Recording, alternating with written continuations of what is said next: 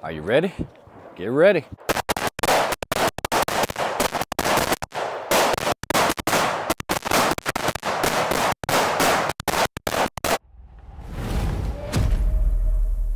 We are headed to American Defense Manufacturing. We're going to be out there for four days. Basically, it's Thursday, and we'll be shooting all day tomorrow, Friday, Saturday, and Sunday, and that's going to be in Clinton, South Carolina. That's considered a major three gun.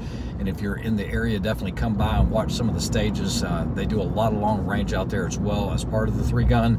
So if you're used to base stages or shooting out to two or 300 yards, this isn't the match for that. They will take targets out to about 700, I think. And so we're looking forward to a great time. Just pulled up, and we got none other than the KB32. He's got his pooper for his tent. He's sleeping out in the woods at this match. I got some shit. He's here. got an air You, mattress. you got some poop in there, don't you? Nah, it's, it's been cleaned out. I think I pissed in it once, but it's got the good old porta potty blue. If you guys don't know who the KB32 is, you're just missing out. So this is the KB32 ab stinger, and what he does is he pulls this trailer with all of his supplies. I have my big hose. This is my water. See? Watch. He actually fills this up, so he has like how many gallons of water is that hold? It's 30. 30 gallons of water. 28 now. Yeah. Let's go check out the domicile of the KB32 Tactical. It's a good setup now. That is his air conditioner. With his mattress. Not bad. Even put a sign up for me. So we are out here at the Tar Heel, and John has his own phone booth. Here it comes. Arrow. There it is. Whee! Hello. And a water. See, and you go in here. All right. So these are John's facilities. And you can take a shit, take a shower. That's it. The real I KB32. know, I do the shit right. All right, guys. So I got Oscar Campos here. I haven't seen him in a long time, and he was like getting a lot of feedback about this. Oh my god. Genesis 12. This is like And the holy grail. We're gonna let him try to shoot it. I have not fired a single round since I did the video. So we're just taking two mags done by Ron Fuchs. They got like 12 rounds each. Let's see what it does. Let's See what happens. Now this guy can run some guns.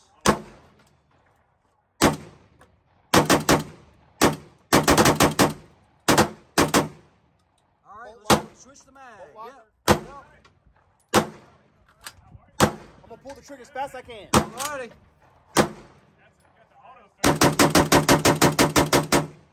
Last round. That's it. All right, it is Friday morning. We are out at the Tar Heel and we are having a good time. We already got one stage behind us, moving pretty smoothly, and we are taking targets out to about 600 yards. Let's check it out.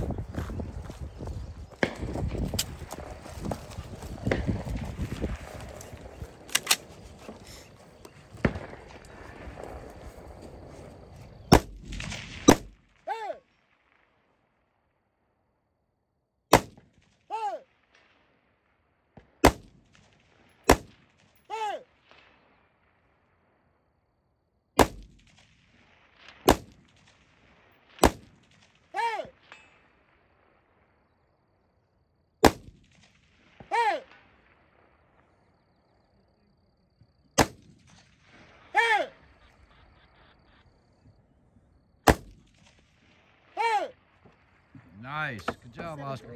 All right, so day one is done. Had a great day. Shot pretty strong, especially with the long range. You know, that helps make up, you know, so doing this long range shooting helps, especially when you're doing a three gun that has natural terrain.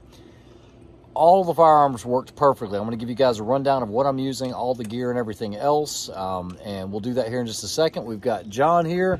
John is doing his nightly thing, which is I always recommend if you're going to spend the money and the time and the effort to shoot a major match, clean your firearms the night after you shoot. Every time, except maybe the day when you get done on Sunday. I hope. This is a strong field of open shooters. And you know, some people are going to say that three gun is a gear race, but it really depends on the division that you're shooting in. Now, what I have seen is a big trend towards offering two gun division, so you can omit the shotgun if you so choose. This match is one of those. They're also offering a carry optics division. They're also doing a limited division, which is going to be iron sights on your pistol and only a dot on your rifle.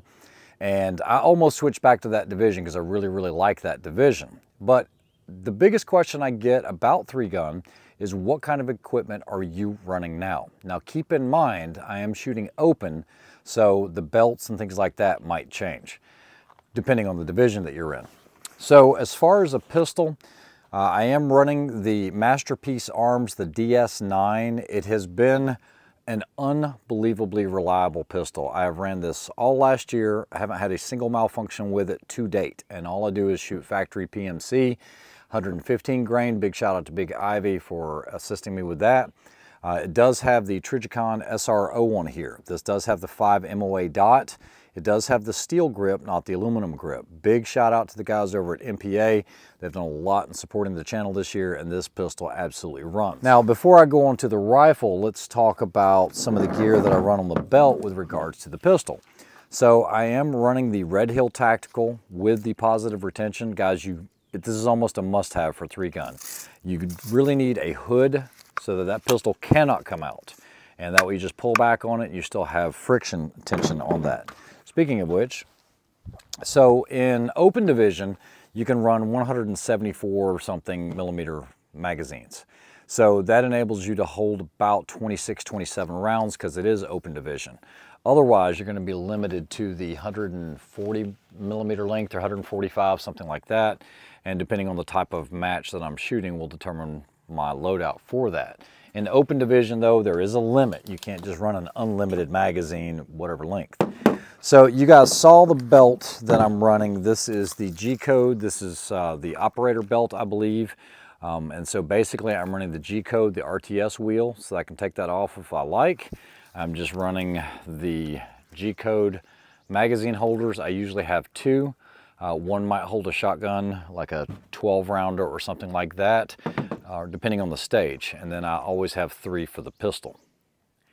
So that's pretty much the belt. There is an inner belt you're gonna wanna order with that and you just wear that and then just Velcro this on. Shouldn't have any issues with it moving or anything like that or coming off during the day. Now, as far as my competition AR, uh, you guys know that I shoot for Cobalt Kinetics. They are making some unbelievable rifles now. This is not the old Cobalt Kinetics. Uh, yes, I did change out, sorry Aaron, I did change out the muzzle brake. Um, I was running the Pro Comp and some of the other ones, but this is the old standby, the SJC Titan. It is super flat. This one does have a proof carbon barrel. It is 18 because we do have longer range engagements here. And so far, I mean, I've only dropped a handful of, I haven't dropped any shots at long range, but it's taken me, you know, one shot, pretty much one for one throughout the match today. There was a couple that gave me a fit, but no issues, and I'd rather take that 18 inch with the extra velocity. I'm running 77 grainers. I am running the Hawkill data card because of the format of this match being a little long range. So you can see some dope there. That last one only took us out to 367, but it's just good to have a reference card and I just flip it around when I need it. As far as the mount, I am running a Spuhr mount on this and it gives me the ability to be able to run an LRA or anything like that if I want. The optic is a Vortex 1 to 10 Razor HD. In my opinion, it is probably one of the best LPVOs on the market, period, end of story. Uh, it is a great optic. I do run it with a mil reticle. I can dial it if I want. Uh, typically, everything's going to be holdovers with the speed at which we're trying to shoot this stuff for three gun. But you do have turrets up underneath these caps. Um, the Vortex throw lever is junk, okay? Uh, it will break on you in a bucket or something like that, so I'm running the uh, MK Machine. This is their Pro Lever. Big shout out to those guys because I had ordered it before this match and it was a little delayed, and so uh, they rushed it out to me. Um, the rifle, I did change the charging handle out. This is the, uh, the badass charging handle. Um, it's just a really, really good charging handle, works well. It, the trigger is a Trigger Tech. You guys know that I like that. It's a, a Trigger Tech Diamond. And other than that, it's a factory Cobalt rifle. Love it, works out well. Now here comes the fun one. Let's talk about the shotgun. So you guys know that I just picked up the Gen 12. I can tell you for the first time in probably five or six years, I shot the entire day without a single malfunction. Uh, there were a lot of people that were interested in seeing this shotgun today. We actually had another gentleman on my squad with one. He was able to get almost the exact model, but it was an older model, and he had a different lower on it. This Gen 12 ran flawlessly. There is a little more felt recoil, but it's not much. And yes, I still have the Holosun on there. It does the job well, no questions about it, no issues.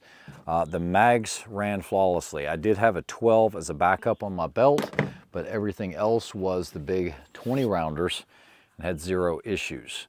Uh, what I did, um, just to be safe, um, I actually took Gorilla Tape and I did put it on the bottom of the mag plate because if this were to drop, I just didn't want something to crack or fracture and lose 20 rounds out of here in the middle of a stage. Um, this is probably completely unnecessary, but it's just something I do. I don't care what it looks like. It's got to function. You know, aesthetics don't really matter to me. I just want to make sure no issues happen there. And then what I did was I took a little Kydex clip, uh, did it like that so I can actually just hook it to my belt. So if I had a spare one, I had it with me. As far as the couplers, they work well. Remember, that's going to be Pyro 3 gun. That's going to be Ron. Uh, you can get in touch with him on Instagram, and he sells these couplers. They work great. The other gentleman on the squad had those as well. All right, so I haven't gotten ma much match footage, but we're going to have Oscar Campos here. He's going to run through a stage through the woods here. Let's check it out. Ready? Are you ready? Yep. Stand by.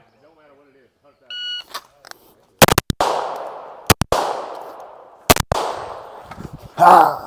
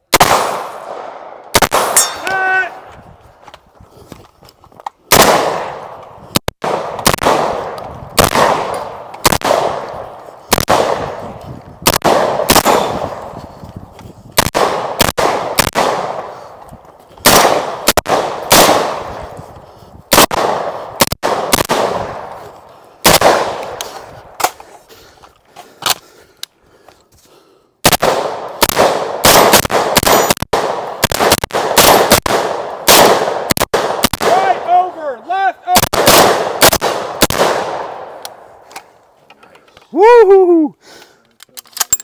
97, You got it under 100, brother. Shooter ready? Yep. Stand by.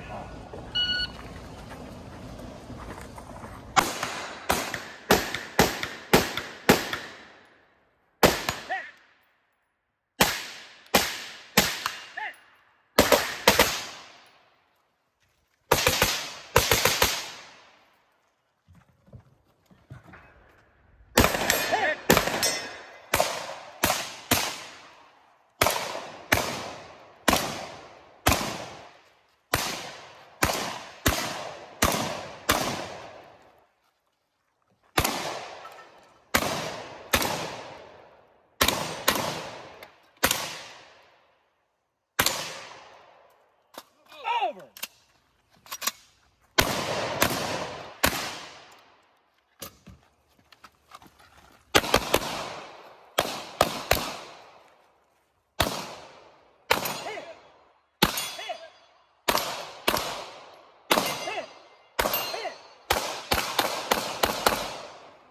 Six three seven two. Six three seven. Shooter ready. Shooter case ready. Stand by.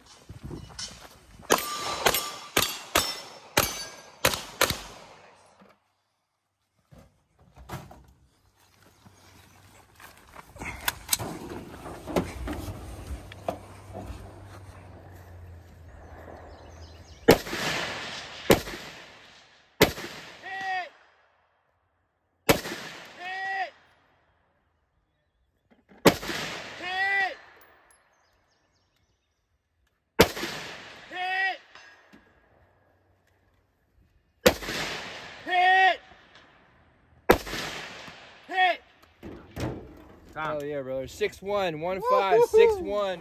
All right, so 10 stages over three days. This is Oscar Campos. You guys remember from the video. Um, what'd you think about the match? Uh, you did have one bad stage. We're not going to even talk about Yep, that, yep. but that wasn't your fault. Yeah, I mean, Um, the stage was fun. I mean, match was fun. I mean, good r- long range, uh, good variety. You know, I love running shotgun. Yes. Uh, so uh, it, it was fun. I All enjoyed right, guys, I wasn't going to talk about this, but it is so important to check your gear. Uh, fortunately, you didn't get a match DQ Right, because right. the pistol was empty, but he carried it on a stage, didn't need it, Mm-hmm. and the Invictus rifle, the aluminum fatigued and broke, so he dropped his pistol. You have to check your gear. Mm-hmm. I've almost gotten gotten like that before with screws coming loose. Definitely red Loctite them, especially with the running that we're doing. Right. But Oscar's a heck of a shooter. I appreciate you helping with some of the videos. So, Let's go to the award ceremony and see how we do. I'm, I'm hoping for a top 10. I Oh, don't he's know if it, it. I don't He know if it's possible. I had a really, really bad uh, bad luck previous to this. Oscar, what are your hopes? Uh, man. Well, I mean, you don't know. Right. I mean, just because now that's that was a stage DQ on that one, right? So I just got zero points on that one. I needed those points. Yep. Um, so I mean, I had fun. That's Yeah. the thing. Just get out and shoot, have fun. And Ray, it was a pleasure shooting with you, man. Likewise, Yep. man. Thank you, guys. Take care. Let's uh, let's go over to the award ceremony. All right. So before we head off to the award ceremony, I want to go over a couple things. Uh, first and foremost, big shout out to American Defense Manufacturing for sponsoring this event. It was an awesome event. Great three gun, great format. Three days of great fun. I mean, they're long days, but they were great stages. Now, with that being said, as far as the equipment, the MPA, the DS9 hybrid ran flawlessly. To date, I've had zero malfunctions shooting factory PMC 115. It was just phenomenal. No questions about it. Pistol work was great.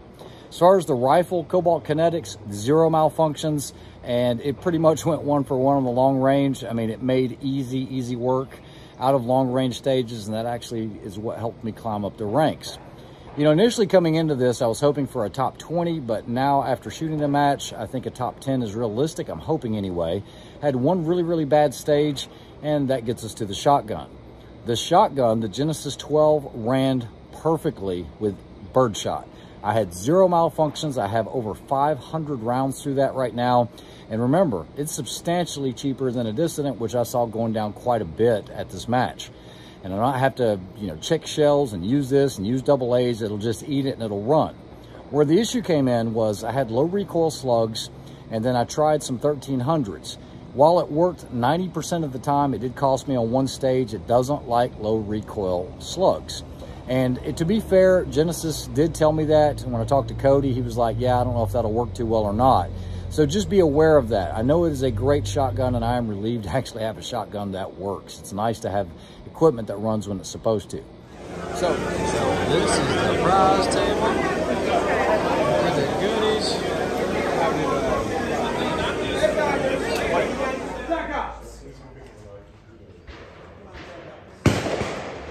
All right, so I've had four pro M's here. This is the second target challenge, and he is undefeated in TAC Ops. Mr. Brady.